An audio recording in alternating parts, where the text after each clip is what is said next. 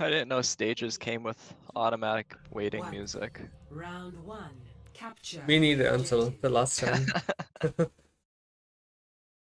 think I always had it muted on my other computer.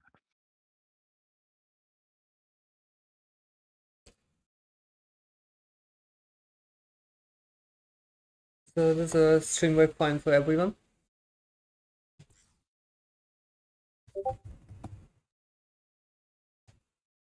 I see it fine from my end. uh, Okay. Hopefully everyone else can see as well. Can send a req- request to speak if there's some issue or if you have questions that come up during the talk. Yeah, both of us will be looking at stage chat. So you can ask any questions you have there. Mhm.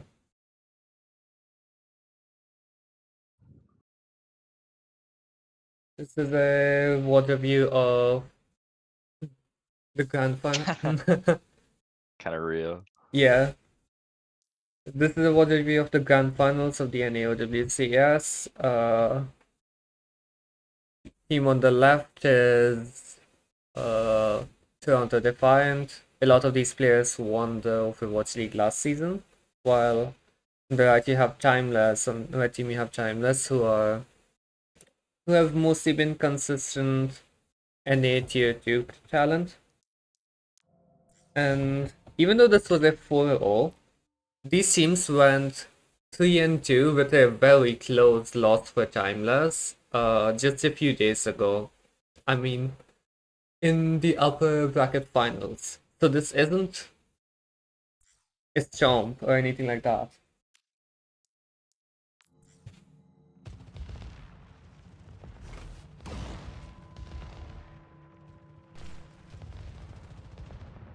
So with Nepal Sanctum, you'll usually see teams set up in about two different philosophy points, and this is always based on where you're positioning your hit scan. So, for example, you can see that the Toronto Defiant has their um, Sojourn split apart from their tank, which gives them more leverage over that top high ground, so Icy can't really push in here at all. But then Chopper, on the other hand, is positioned on his ramp, which gives them a little less total map control over that main high ground area, but it actually gives them a little more leverage over point. So this is actually going to make it a lot harder for blue team to be tapping the point like red is, because their Sojourn is on a slightly more ambitious angle for being able to contest it. So everything has their uh, costs and benefits here. Yeah, and as you can see, like through a lot of this, uh, Blue Lucio has been locked to his Tracer to avoid uh any sort of mishaps where Tracer just dies and you have to give a point, right? And because of that, someone also can't really contest this lane with Chopper, CJ, and Icy on it, as well as he'd maybe like to. One thing to highlight, of course, too, that's a little difficult to see from the overhead though, is Chopper actually does have rail and had rail considerably before Merit. So Merit has been playing relatively safe because Chopper has had rail and been holding it for a while. It's easier to farm it off the Sigma who's doing the more aggressive poke than Icy who is kind of just hunkered down behind a wall the whole time. Yeah. So hmm. yeah, you'll see the Tracer and Lucio from red team both juggling the point progress to try and get that first cap and avoid the poke damage as much as possible. Now that they have cap, they don't necessarily just need to kill or play for anything. They just want to burn time and not give up too much map control while doing that. But Toronto Defiant here go for something very ambitious to save the point, which doesn't really work out.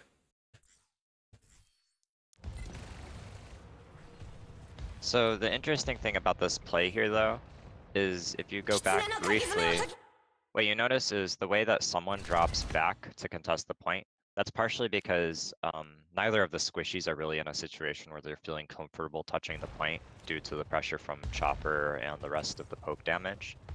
So if they don't put any point pressure on, this is going to be a pretty long and prolonged, uh, pretty long and gruesome fight.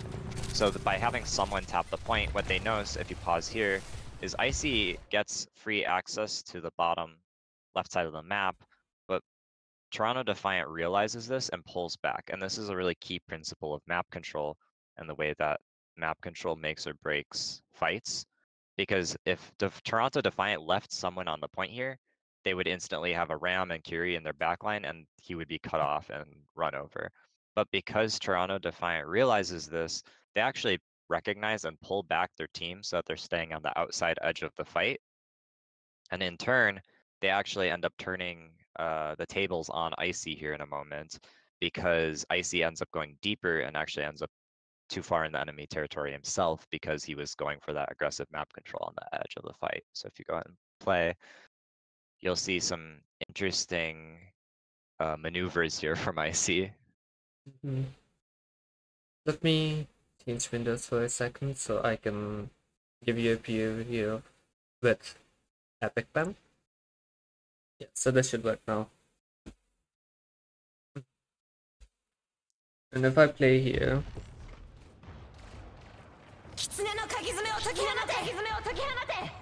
Both Kiwis burn their ultimate, but Ice is already taken a lot of damage, so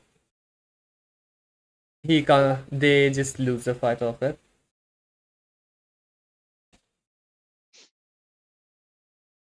Then from here, uh, it's mostly just cleanup since Toronto Defiant, you know, has their full resources well. Um, Timeless doesn't really have any ability to absorb the pressure, so Merit's able to pretty much just run it down. Uh, An opener does something he does get, pretty creative here. Yeah. Bait Dojo can't really teach That one of can you? sickest rocks if it hit. Yeah. Now since it's a 4v5, Timeless go very quickly. And they have more resources on point so they can just win for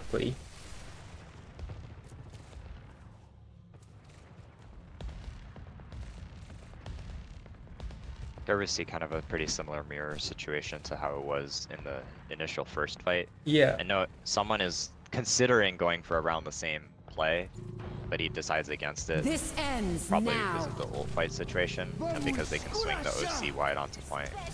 Unfortunately, this ends up being pretty resource intensive, which is fine, but only of course if it works out. And we don't see that bite coming through from Toronto Defiant that we would want. The Flux was whiffed, unfortunately, as it happens. And they're not really able to get as much leverage with their Sojourn onto the enemy backline as they would like. And their Tracer is kind of being zoned out too, because Rocket is marking the map control pretty effectively to prevent Sugar Free from getting free access. Yeah, and the skill on someone just means he has to swap to get there in time. Mm-hmm. Which means the comp's not what they want to be playing.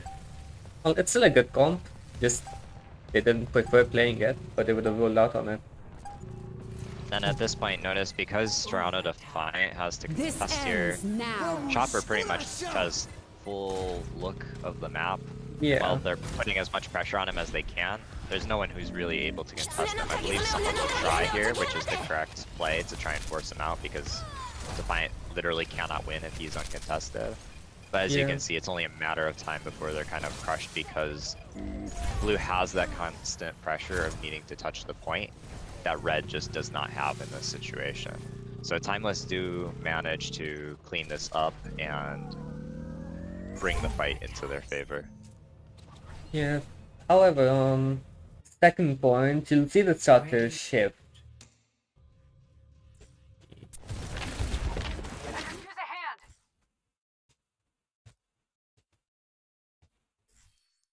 Go back like five seconds. and Spectator really. And you see how uh Chopper and his team can just kill Merit pretty much for free since uh, he's desynced from.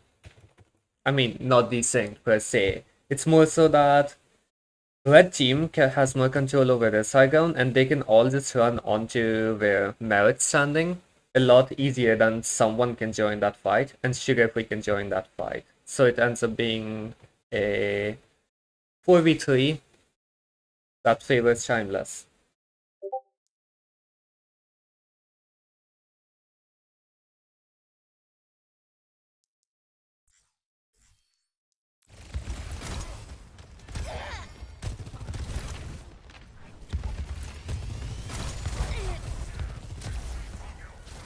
Of that initial advantage, they can The objective point.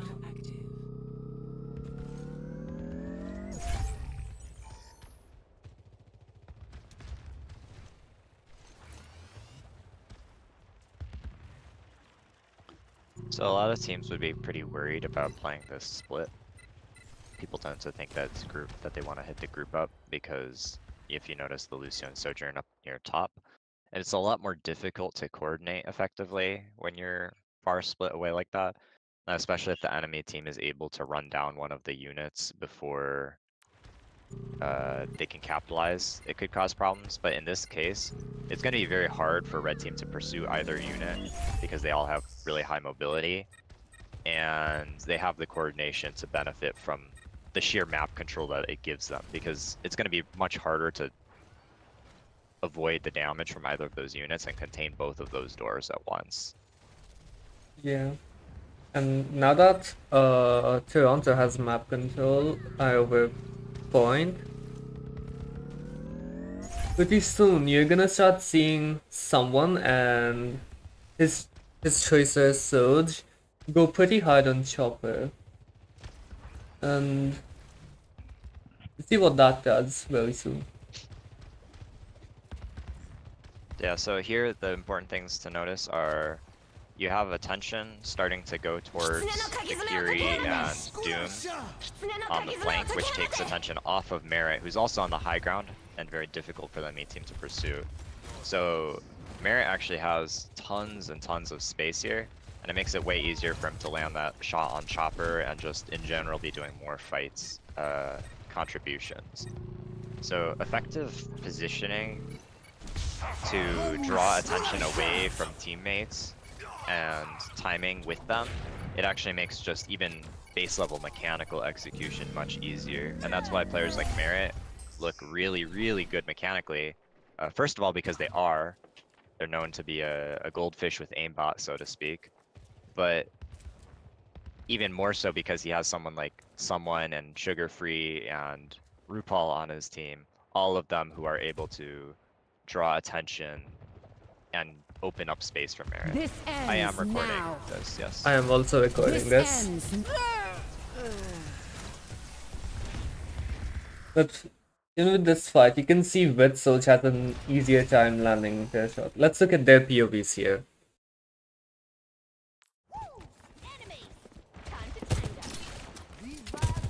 May have skipped back like two extra seconds, but This that's fine. now. Nobody's really shooting Merit. Merit's kinda just chilling there, playing Kovacs on his angles while. Let's look at what Chopper is doing.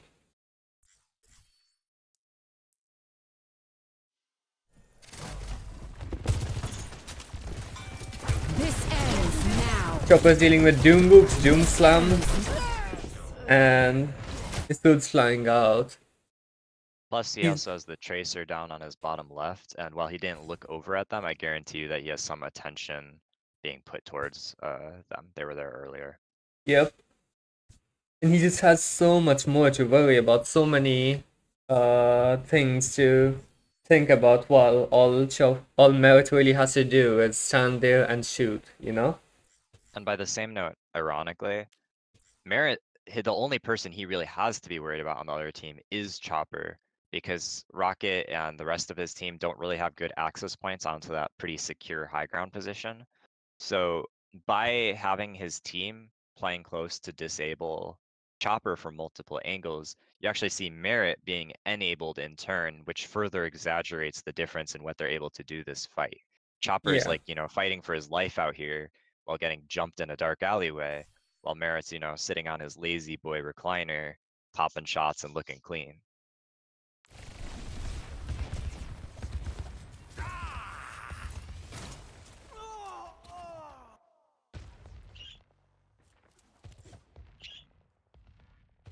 No, I Icy goes over to the queen. Doesn't really change too much in terms of how they'll be playing this composition. It's just gonna be a standard brawl with more explosive power. Yeah, realistically, they probably did it because they felt like it would give them a little bit more burst team survivability against the initial dive engage. I'm actually not a big fan of it though, because I don't think JQ really helps that much in containing the dive. I think it would have been an absolute Hail Mary play for that to work. Yeah. Um, considering that her strength over here is like Ram usually is that mobility and, so to speak, ability to dive in a way, but there's not really anyone diveable on Toronto Defiant. So she ends up in a kind of awkward situation. You would really have to be playing for getting kills on One. knifed one. targets or um, more likely cast nades, which puts just a lot of really awkward pressure on the team. Two. I really like this uh, first fight of this map. Yeah. You can see how they've both taken a different side of the point and just played Yeah. both from it. If you pause here, something that's really good to highlight here. So a lot of teams will actually just roll out default main up the stairs and then send someone out on a flank onto elephant. But I actually personally prefer having teams head towards the inner side of the map, kind of where Toronto Defiant is. Because if you look at the point entrances, um, the entrance to the point from Elephant is just this pretty narrow doorway, and it doesn't actually give you that much angle variation all from this one side. Well, if you go to the other side, you just have this massive, you know, open area with the two pillars. So you can actually all play relatively stacked and a little closer while having more relevant angles over the point control. Normally for Elephant to be a relevant uh, angle, you need other people on the stairs, but the stairs just aren't that comfortable except for if you're a flanker and they're a little more split from uh from their core because of that uh wall kind of near elephant that's uh, on the corner where there's a little less wall on the other side. So in general, Merit is going to be feeling a little bit more ability to put out pressure because his team took the more open side of the map. And Sugar Free has been able to get pretty early set up on the stairs too, because uh, he's a little less split and can play there a little bit more than Rocket can. And you can see this pretty clearly where Merit's just playing his uh, normal angle where he started while Chopper had to leave this angle to go over to this much tighter angle and just to be able to poke without taking much damage back, without being at risk of dying. The other really underrated thing is um, rolling out on the inner side of the map, especially if Mhm. you're playing with Sojourn comps. This is and Kiri as well to an extent, because you have the high grounds on that side. You actually have way more ability to get away from less mobile compositions and essentially just you know farm from that high ground if they tried to force an engage onto you. Meanwhile, if uh, Defiant tried to force an engage onto red, um, Chopper might find himself a lot more vulnerable because he doesn't have quite as defensive of a position to move to. The objective is now active. So right here around is when you see some pretty interesting things happening because this is where you see the map control start to really put heat on the players on uh, Timeless. Yeah. Because now you have Merit playing up pretty aggressively. Sugar Free is on the stairs, so if Icy plays up, or really anyone plays up, like Icy is right now, they're going to be getting chunked from both Tracer and the front. And this way they can't really effectively pressure out or deal with, or even just gauge the threat level of all of these people at once. They physically cannot cover from all of these people. Rocket is trying to absolve this as much as possible with an aggressive play from the flanks, but because blue is relatively secure, pretty much everyone on timeless is still in front of them and they're still feeling pretty confident here. Yeah, and this is pretty much just a choke like you, like you'd see on King's Row at this point. Yeah. And There- notably, in a moment, you'll actually see Chopper having to deal with Doom and um, Tracer a little more, I believe. Okay. And it makes him kind of more uncomfortable too. So you, you see some pressure from uh, Yeah. Sugar Free onto him, and it forces him out. While Merit is still able to play this more open space and press it. That just gives here, Toronto so much two. easier uh, conversion.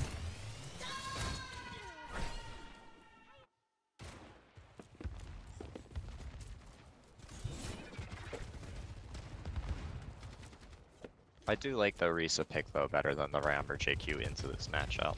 I think she's a little bit more independently survivable, which gives the backline a little more leeway to handle situations. Yeah.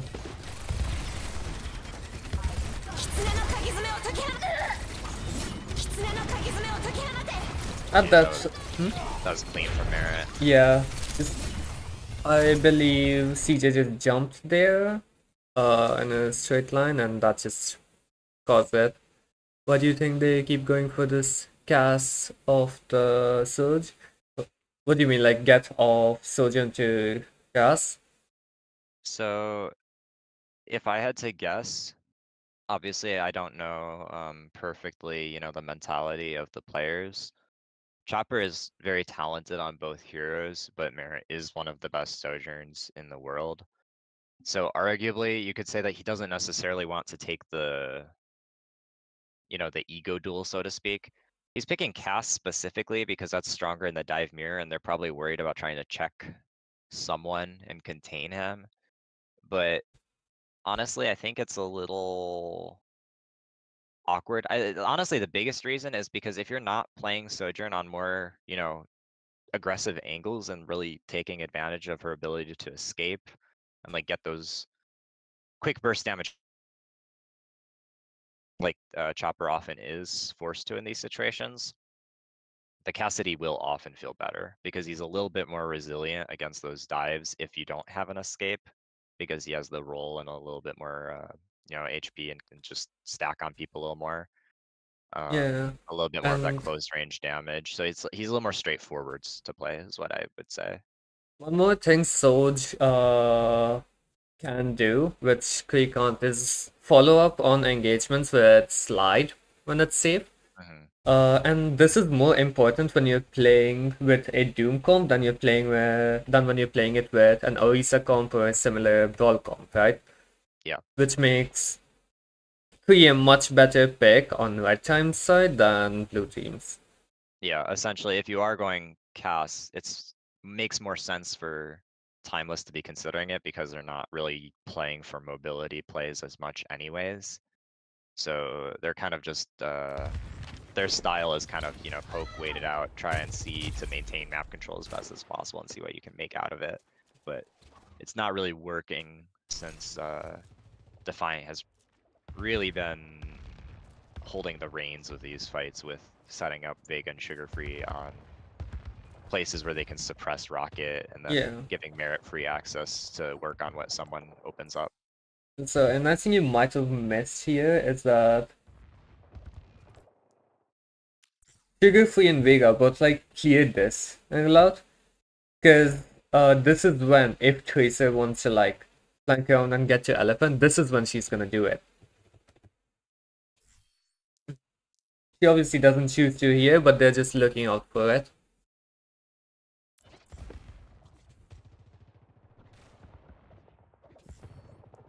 Is Rocket uh okay, he's doubling back in main. Yeah, so you'll see him playing for an off angle again here to try and make things work, which is, you know, nice and that's a hallmark of a good tracer player. Rocket is probably the most talented tracer player that we've seen in NA contenders for quite some time. So he's he's definitely someone to keep an eye on with Tracer, and a lot of his decisions have been very strong and justified in this matchup. I would even say at a lot of times he looked stronger than Sugar Free in this specific matchup. Just couldn't really integrate it necessarily correctly with the team. Yeah. This is going to be really tough though. Like this is almost an unreasonably difficult situation for Red though, because if they're rolling everyone off of the high ground, it's you look at Merit and you wonder, well, gee, you know, how are they possibly going to get any pressure on Merit? And that's why it's a little bit doomed to failure here.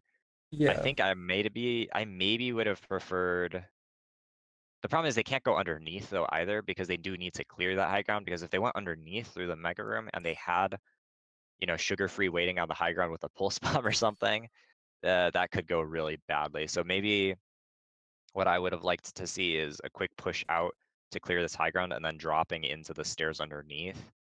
But, you know, it's hard to say how that would have turned out. It's difficult since everything on this map can turn into a kill box. Like this whole area when you're walking out can get hit from here, here, from up here even. There's a lot of yeah. angles you have to worry about. Same with like uh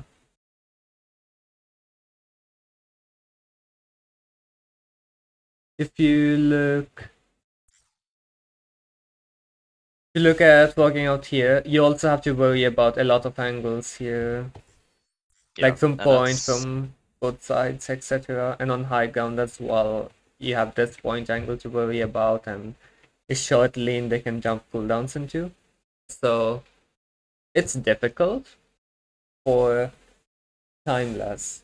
That's why I think I would have liked to see underneath because I think that has their most cover on the approach to point for if they want to close the distance on merit. I think what I actually would have liked to see is a rotation from Orisa, um, probably Lucio and Kiri all on underneath and then Tracer solo up top to clear that. Maybe you could have also done cast Lucio on top and then the others on bottom, but that's a little dicier because it's possible that they could have just rushed top. But that way you probably get the best of both worlds of having Tracer able to mark top a little bit and then getting your cast closer to the point to actually be able to contest the Sojourn without, you know, getting his head blown off. But this to me just looks like it's doomed for failure. This is your warning. This ends They already now. Suzu. Yeah, and again, Merit can just sit there and shoot them. He doesn't have to worry about anything. If you look at his POV, you can clearly see it. Let's go back here. He's just shooting into a clump and getting free This damage. ends. Tags. Yeah, and this is where you really see that once again where having strong map control and suppressing the opponents gives so much space for your teammates to do work because they just don't have as much pressure on them. It's just all in front of them, easy to play secure and then easy to press up with confidence when the engage happens. Yeah, and now uh, blue team just have better ult, so it's really hard to make anything of it for timeless. Overtime.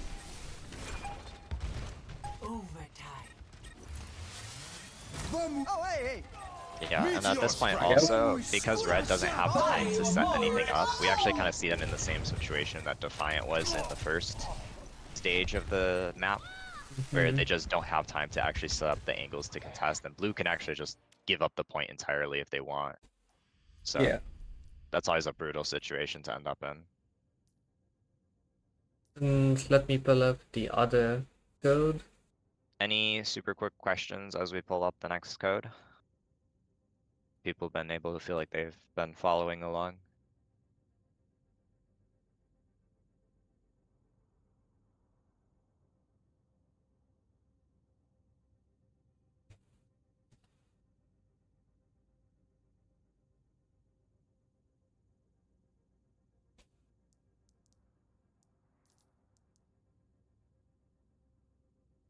Honestly, Prozac, it's a little hard to say. I would personally say that the way that they juggled the point at the start of the map was honestly just a little bit better. I don't, I don't obviously have all the perfect solutions because that honestly takes hours of, you know, studying and considering the possibilities to find. I think if maybe someone had been a little bit more passive on that initial poke so that it was a little harder to get uh, rail for Chopper, and if they rolled Merit out onto coast side first before then sliding him uh, over to his other position where he played most of the fight, I think that maybe would have been a little bit better. Because the and the reason I'm focusing so much on the first fight is on a point like that, it's so hard to flip the point. So you saw, you know, Timeless just get massive chunks of point progress because it just took so long to flip things back. And I think that's really what bit uh, Defiant is they just didn't have enough time in the end to, you know, pull things together. And they were just constantly fighting against a capped point against them. Yeah. Um, as for your question, Weevil, I think it does depend on the situation. With Soj, usually you're going to play, regardless of comp in a cycle, where you play back a little bit more at the start and kind of more near the team. And then you take like a soft angle just to, you know, see where you can get some charge here and there.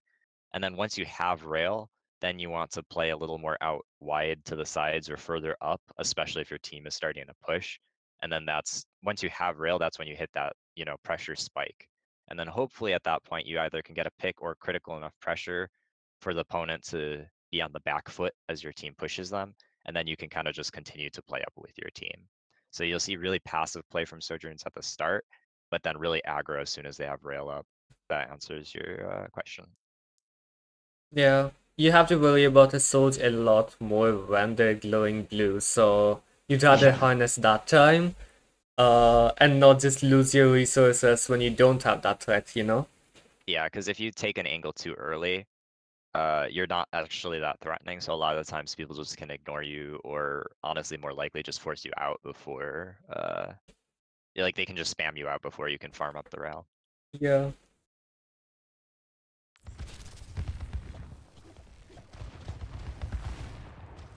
So here we actually see a pretty much a repeat of that matchup, which is pretty fun since this is a is an interesting compositional matchup. Yeah. And Timeless actually, I liked how they played this map a lot on the whole. And honestly, I think by rights they maybe should have won it, but it was definitely back and forth. So here you see a pretty normal two the two philosophies. So if you pause here for a second, just like how on Sanctum we saw the two philosophies of kind of have the Soj close to your team for controlling point versus have the Soj across for controlling the you know areas around the point. On Esperanza, you usually see teams take two philosophies of either um, play to control the area by the castle, um, which includes your high ground plus the kind of area around the point. So Sugar Free is kind of the outer edge of that on their flank, while Maine is kind of pointed straight from Merit down to someone. That's kind of like the spine of this team, so to speak. Meanwhile, Red is taking the other philosophy, which is to take the wide rotation around towards point. And the advantage here is, well, you don't, you know, get the easy high ground stuff and all of that. It's actually pretty hard to approach this area because you have pretty long um, open sight lines. So for example, Sugar Free can't really approach Chopper or CJ that easily. And um, it's not like, you know, a super free engage because there's all this open space and relatively good cover as well. But you also have weaker angle options. So yeah, the only angle option really for red is to have Rocket battling out Sugar Free. But even if he wins that, he can't really engage on that high ground because it's uh because blue has, you know, that strong bridge control. So Rocket is actually mostly just playing to block Sugar Free and contain him so that uh, Chopper can do work on the front line. And Red's win con here is basically just to slowly inch the point forwards. Yeah, and while Sugar Free is fighting this uh Tracer duel with Rocket, Rocket's just playing to like stop the bleeding, stop Sugar Free from killing everything, while Sugar Free doesn't really have to worry about this since what's Tracer gonna do after he's forced out, like walk up here in clear view of Soj Tracer and be fine. You know? But by the same note, Sugar Free does want to open up that angle to to win for himself because otherwise he can't approach Yeah. from anywhere really until they start getting really close. So he would like to avoid that if possible and you know see what he can do. But yeah, tracers are kind of going to be at stand, uh, standstill. But of course, whoever wins that uh, could have massive ramifications on the rest of the fight. Yeah, See, and so right here we see something happen in that regard. Yeah, Sugar Free wins the Tracer deal. And now Timeless is kind of on the back foot here.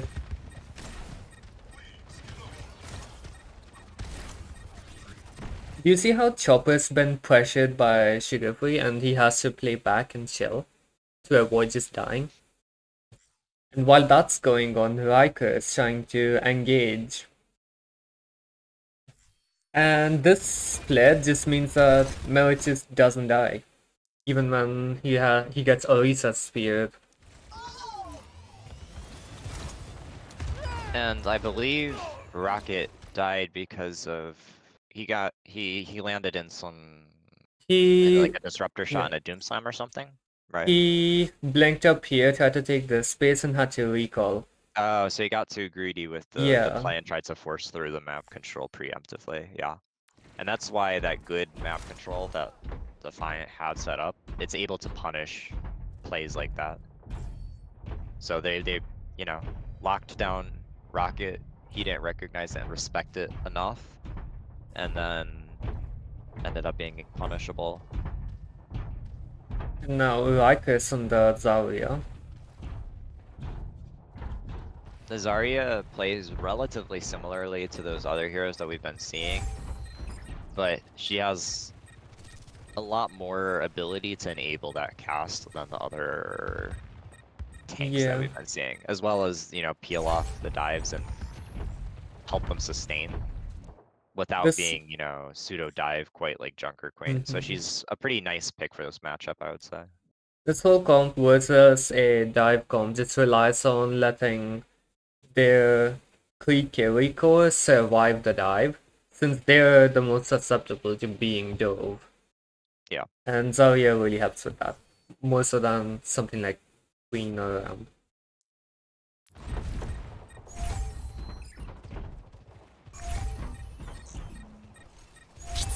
So here what we'll probably see is a split unit going trying to go top while they also have rocket marking point. But this is a really nice play from someone to wrap around there with sugar free because they stay Yeah. relatively on the outside of the fight. But then note that RuPaul and Vega actually have a pretty good off angle here, and you can't underestimate the damage that those two can do. Yeah, and even during the setup for this, you can just see Merit uh telling around here, just shooting for free into them, and they can't really do anything about it, right? Would have been good wait you to engage and cushion the dive. Hmm.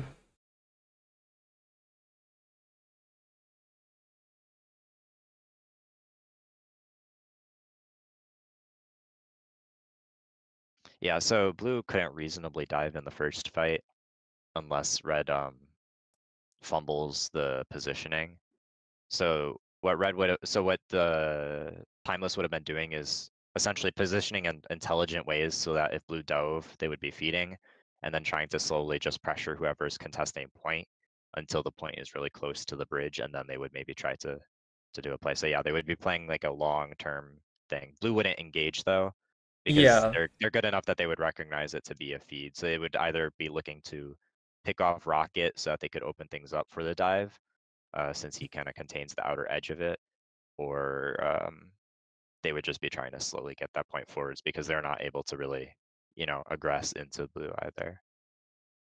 So Yeah. you're pretty close on the mark.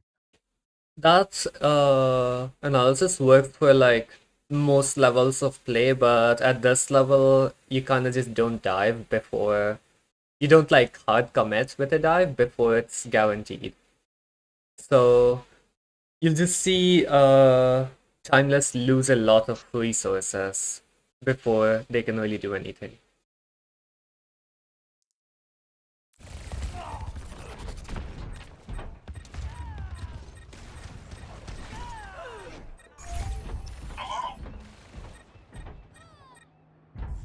I think maybe what I would like to see that fight is maybe see Zarya trying to rep high ground instead, like a little more ambitiously while leaving Cass marking, um, kind of on that little advertisement pull thing. Yeah. Because then, then maybe they would have had a little bit more guard, and Zarya should be able to turn around to get a bubble there without too much issue. And you could actually even send Tracer up the high ground too with the Zarya.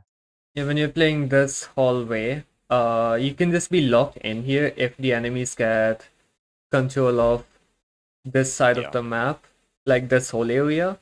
And they already had two people here and they were wrapping up, right? Yeah. So they were guaranteed a loss because of how they were controlling the you map. need you need someone a little bit more able to to mark that and protect you know give you it's like chess when you have the you know one piece protecting another. Uh, you know if they're if they're getting an offing on one piece of your team ideally you have someone else on an angle that you know kind of guards against that and would in turn have an angle on them. Yeah, I didn't really like how they put Zarya on cards personally. since Tracer can just do that on her own, I assume it was to wrap around to the high ground. But that just leaves their backline too open. Yeah.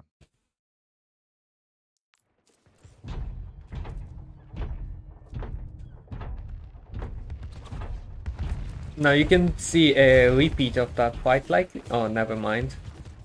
This is a better looking split, but it's Yeah. also a little awkward because Chopper still isn't gonna be in a position from here where he gets much pressure on Merit.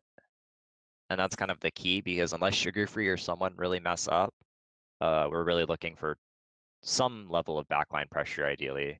Um, as it this fight is currently breaking out, it's essentially going to be Riker and CJ trying to contain and pose enough threat to Defiance backline that they just aren't looking at uh you know the rest of Timeless, and then Chopper, Opener, and Rocket are basically just going to try and pummel whoever's on the cart. Before we look at the top down for this, I want to show you uh Merit's POV of like this initial.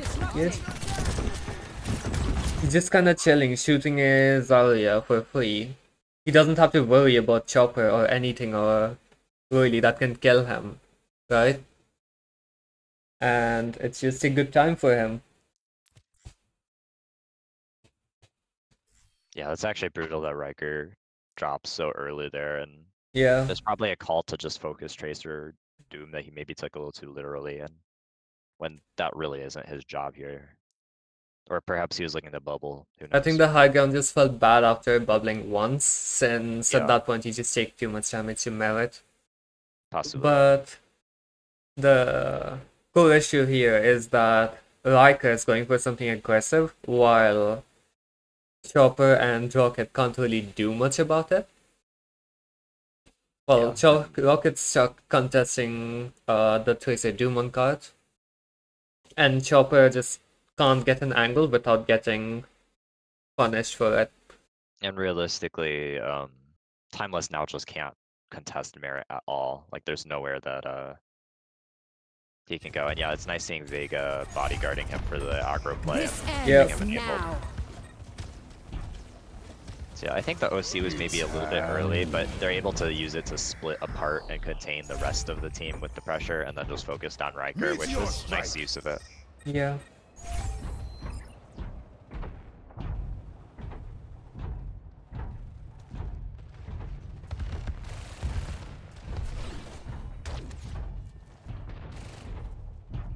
That's just a cleanup, they're just looking for anything they can get.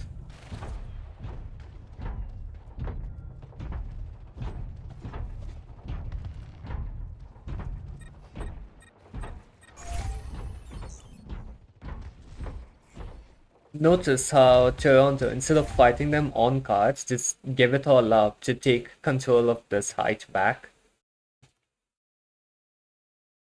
They still have bot, don't get me wrong. They just aren't pushing it, they aren't like taking aggressive angles to fight Timeless with it. Teams love leveraging objective pressure here. It's kind of like what we talked about in Koth, where push, obviously, it's even more blatant. Uh, if you have 78 meters of progress and the enemy team has four, you can really just play to, like, you don't ever have to play into them or even push the cart necessarily. You just have to play to contain them. So here, Yeah. um, they'll probably keep sugar free marking in main, and if Timeless tries to rotate through the high ground, someone can meet them up top. Sugar free will be following behind them. And meanwhile, if they try and push cart, they have sugar free marking, or someone can play into it while Merit and RuPaul and Vega can all take the matchup up top. Notice how all of these spots that uh Timeless have to walk into can just turn into kill boxes where there's like this angle, this angle. Yeah. Like and this is a notoriously difficult choke to break. Yeah, while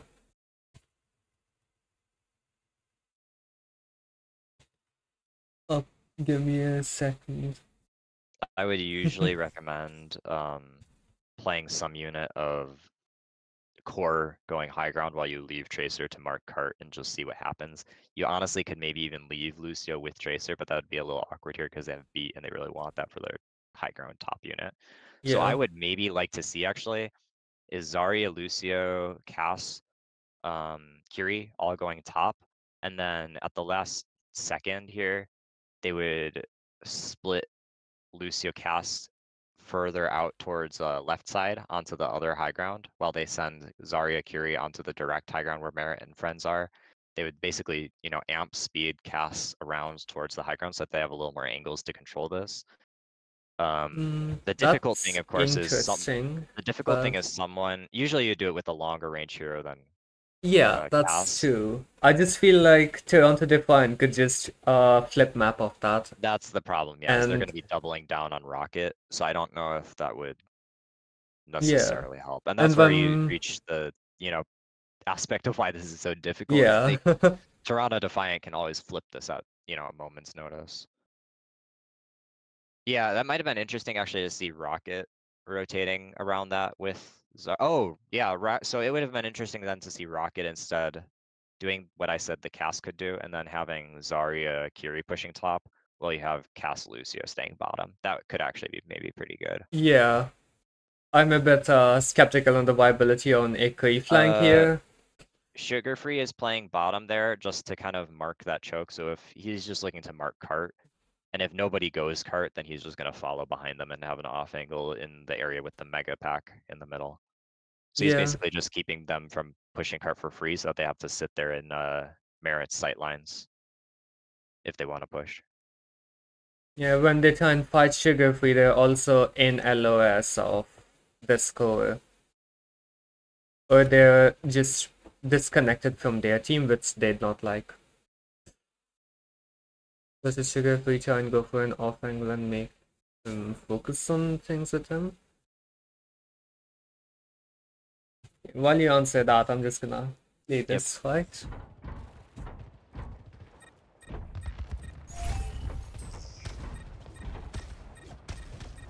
As you can see, they're just staying there with sugar-free controlling card so they don't get free capture. And now they have a four-man per walk top.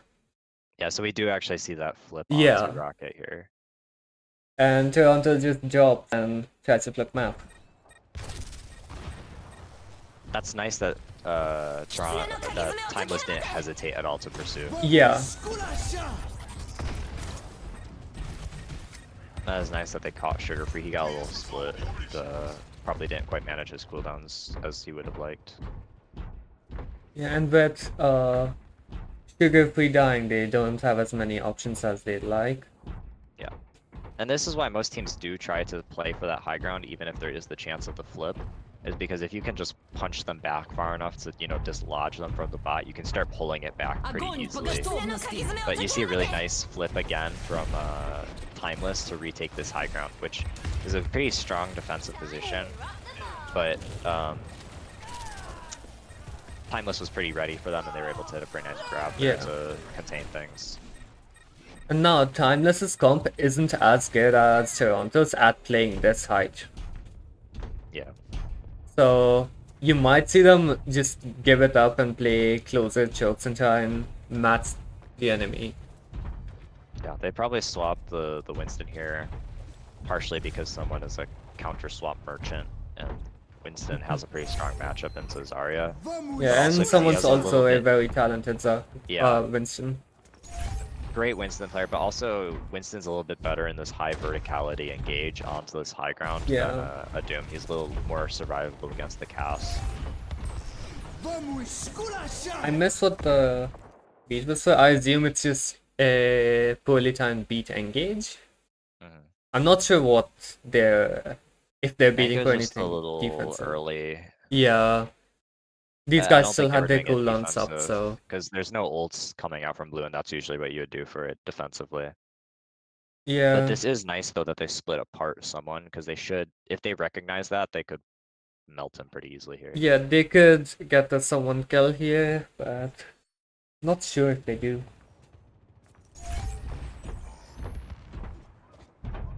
They got close. Yeah, but- Rocket couldn't quite pursue yeah. he tries, but that's still a good point progress though.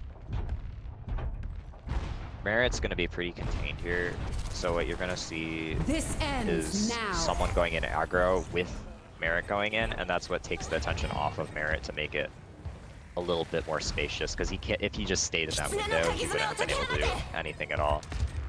Obviously, though, they're still playing into really entrenched positioning from red, so it's pretty likely that um, you know timeless can just keep things moving just off of the sheer defensive nature of the the map and being hard to dislodge their comp from it. Yeah. Over time, though, it looks like the map control from uh, blue, from that quick push through the archway that they did, they were kind of able to surround Timeless, and that looked like it worked out in their favor in the long run.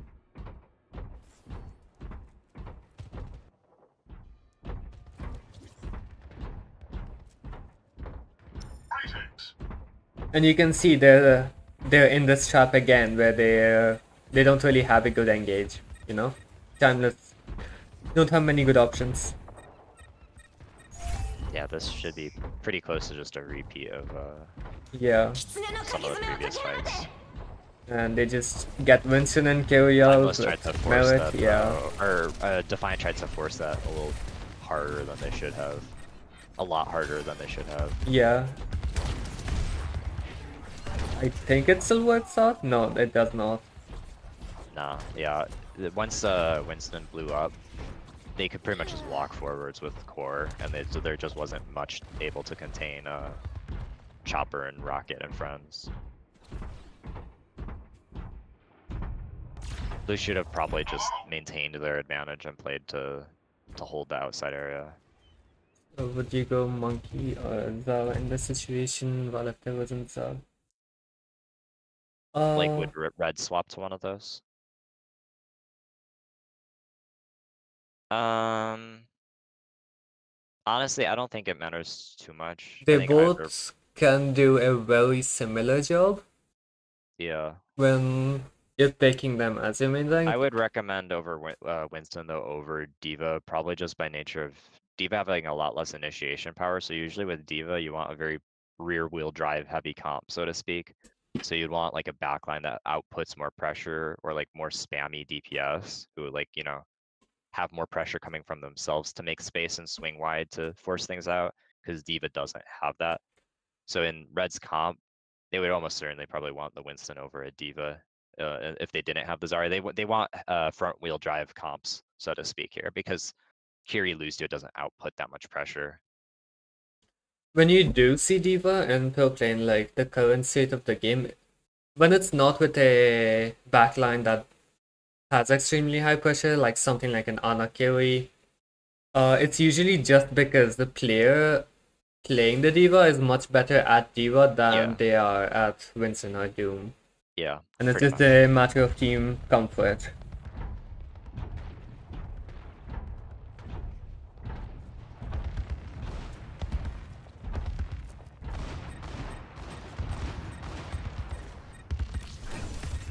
And while uh, team is fighting on point, someone can do this, uh, partly because he has time the, even if he gets four, like, shot at, even if he gets discovered, he can just primal and he's fine, right? He can just dive down. If he didn't have that, he'd have to wrap around and that would give uh, Timeless way too much time to go on their backline.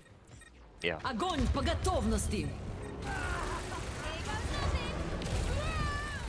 the good guy, and I should win that fight.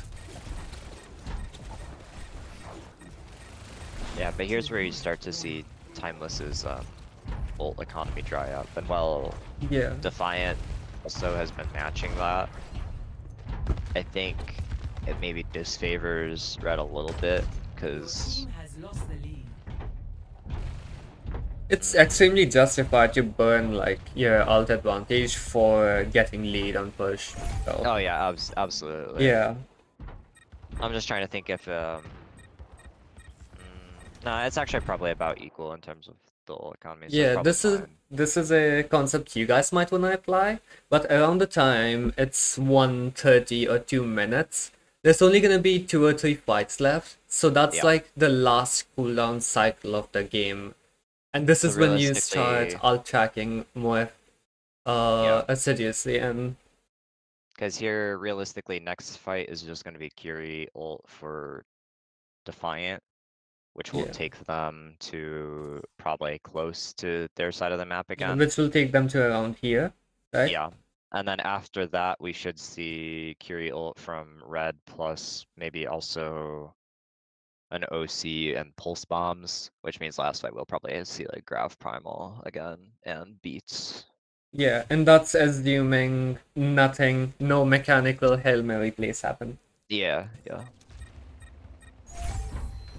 Which isn't a bad situation, of course, for uh, Timeless. That's a pretty reasonable.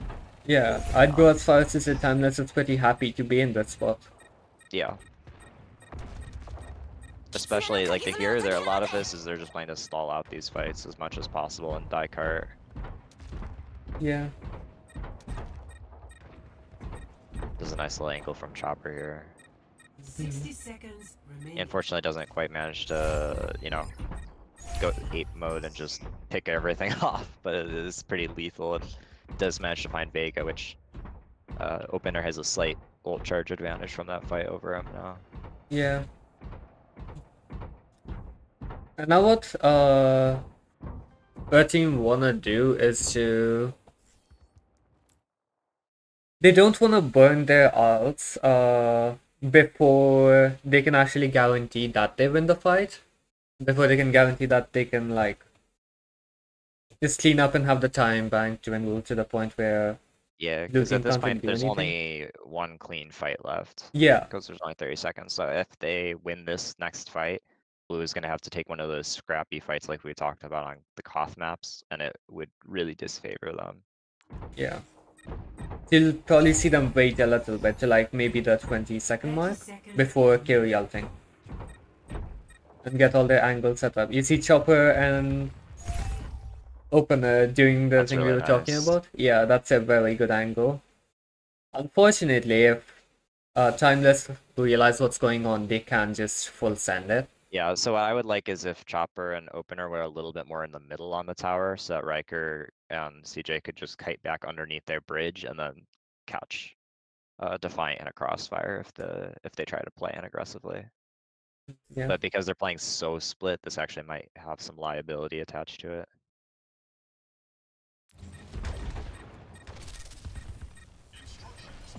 Yeah, so they do kind of gather up here, but note that Defiant all just gets shoved into a locker into one spot, which is really not what they had hoped for. Yeah, Uh, and Riker gets uh, a bubble thrown on top of him while Kiri's stuck in her animation for her ult, Yeah. and that just gets her killed. Yeah, re- yeah, they probably just were just saying zar zar zar zar. Yeah. I think here though, I would have. I feel like Riker should have had his bubbles and been able to recognize this pressure here, yeah. or just been a little tighter on the swing. If I remember right, he played a little too far up next to the tower, away from his cover, and Yeah, he tried was to force like it a little all too the way much. up Yeah, here. and that's where it bit him because he didn't have that clean kite back to like a secure position. So it's just kind of an unfortunate small scale error, and uh, it then wrapped up the rest of timeless into mispositioned situations where they're no longer favored. At this point, honestly, I would rather if they just blitz cart and try to keep it from moving as much as possible because they will get one more fight here, but they they can't afford to stall this. Yeah, as long uh as much as they stall, like the more time they waste stalling here, the more time they have to set up before the fight that settles the map. Yeah, but by the same note, blue is going to be getting up to critical ults if they make this take too long. So Yeah. that's why you might want to just Hail Mary it. But either way, though, we'll have to see how they do it. The key is just to be just to down cart and be synced yeah, so anything. Chopper, Chopper is going on pretty nice angle. Yeah. And the here I think they call to just back up and try to not stagger. I, I'm not a big fan of going for the dead eye oh. there though and like trying to actually play to win that because now look Yeah. All of red is on the back foot now, right as Riker is like respawned and on his way back. And now we just don't have a good clean fight from red, which is why I would have rather just had a clean reset and now it'd be five seconds left probably about. Um, yeah. I'd rather it even doesn't have functionally change that we have one more fight after this. Yeah, I'd rather even have uh, Cletus rush onto point to like see if he can get like his aim to carry him into a, like a kill or two, right? Which is very unlikely, but it's better than being dead when this fight's happening. Yeah, so let's take a look at the last fight wrapped up here. It's pretty much Yeah. just, yeah, they pretty much just recognize that they can hard press this advantage that they already have of people being staggered and on the back foot. This A self ends stagger really ends up really brutal. Yeah, and now they're fighting like a 5v3 for fun. Yeah. With the So- soldier to go with it.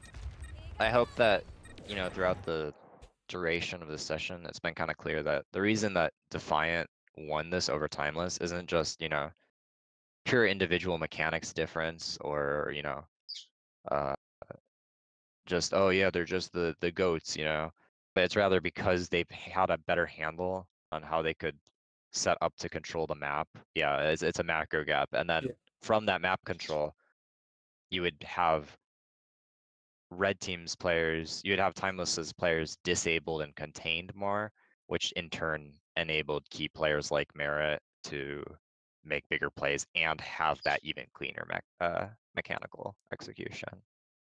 Mm,